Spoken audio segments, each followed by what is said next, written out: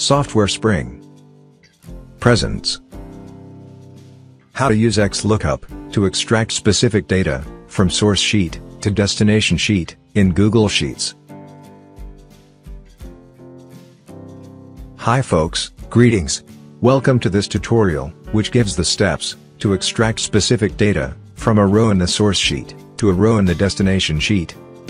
This is the source sheet, and this is the destination sheet. Here is a key point about XLOOKUP. XLOOKUP can extract data from a single cell, two or more cells, or from an entire row or column. For more info on XLOOKUP, please refer to the tutorial, How to use XLOOKUP, to extract multiple values, in Google Sheets, whose link is given in the description. The XLOOKUP function formula is Here is a snapshot of how XLOOKUP works. Assume user specifies only the search key, lookup range, and result range. XLOOKUP searches the lookup range for the search key. If search key is found, XLOOKUP returns data from the result range corresponding to the search key. If search key is not found, XLOOKUP will return NA error. Alright, we are all set to extract data. Extract data from a single cell. Okay, let me switch to the destination sheet. First, type the desired search key. I will type the year, for which I want the data. Now, type the equal to symbol, X, L, and select XLOOKUP.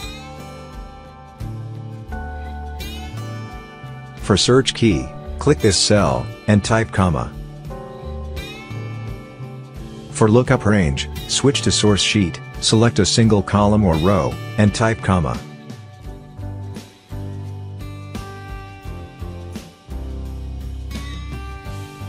For result range, again, select a single column or row.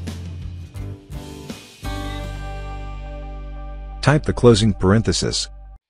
The final formula is Press enter. There you go. XLOOKUP has returned the value from a single cell. Extract data from two or more cells. I will type the years, for which I want the data. Follow the same steps as before, till the lookup range.